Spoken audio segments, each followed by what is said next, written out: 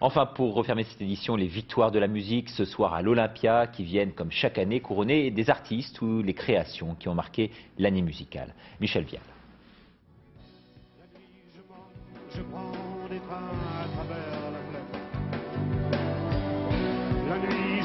Un triplé pour Alain Bachung, à la fois artiste, album et vidéoclip de l'année, grâce à un disque fantaisie militaire qui illustre l'univers attachant de cet écorché vif.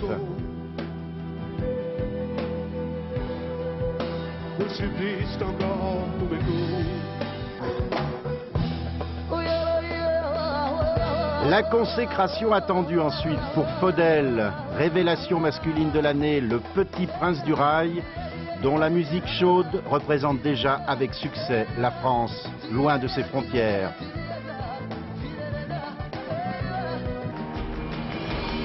Un triomphe attendu celui-là pour Notre-Dame de Paris, spectacle de l'année. Un spectacle qui bat déjà depuis un an tous les records de vente de disques.